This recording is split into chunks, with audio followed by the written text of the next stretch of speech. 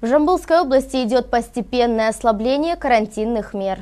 Разрешено движение общественного автотранспорта, в том числе пригородных, межрайонных пассажирских перевозок в рабочие дни. Также разрешена деятельность объектов культуры с участием не более 30 человек. Возобновили деятельность и религиозные объекты. Разрешена работа бассейнов по предварительной записи. При этом в выходные дни продолжается ужесточение ограничительных мероприятий. Будет приостановлена работа общественного транспорта, ограничен выход на улицу лиц старше 65 лет. Продолжается соблюдение масочного режима. Приостановлена Останавливается деятельность торговых домов, торговых сетей, торгово-развлекательных центров, за исключением продуктовых супермаркетов и аптек, находящихся в них. Это же относится к непродовольственным и продовольственным крытым рынкам, салонам красоты, парикмахерским, спа-центрам, объектам, оказывающим косметологические услуги, фитнес-центрам и спортивно-оздоровительным центрам, бассейнам, тренажерным залам, спортивным комплексам, баням и саунам, аттракционам на открытом воздухе и так далее. Контролировать соблюдение карантинных мер деятельность объектов будут специально созданные мониторинговые группы.